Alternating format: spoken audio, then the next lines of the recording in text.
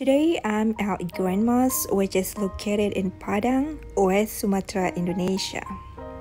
This Grand Mosque is one of seven the best architecture design in the world, whereas compete with 101 mosques in the world.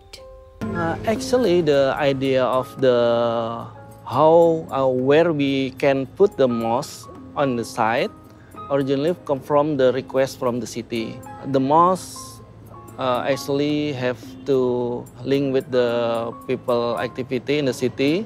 We put the mosque to the west, straight to the Qibla.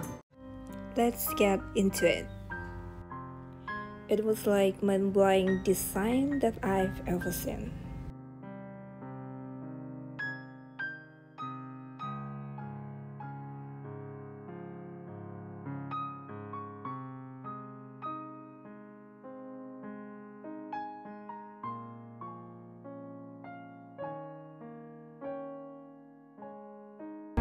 Ladies in the mosque of West Sumatra, welcome to Padang.